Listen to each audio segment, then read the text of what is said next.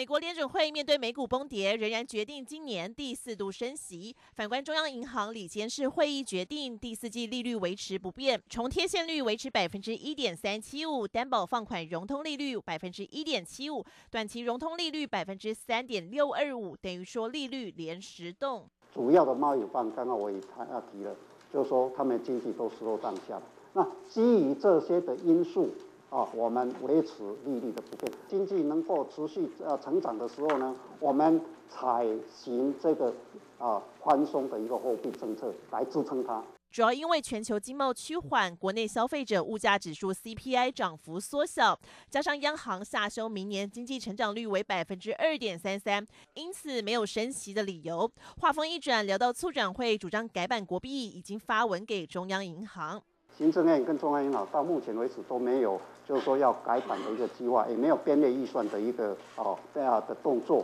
杨金龙保守回应，因为接下来台湾面临到的考验更严峻，包含美中贸易延烧，还有美台利差扩大，资金外流风险，如何稳定产业发展，央行需严阵以待。华语新闻简玉玲、陈淑曼台北报道。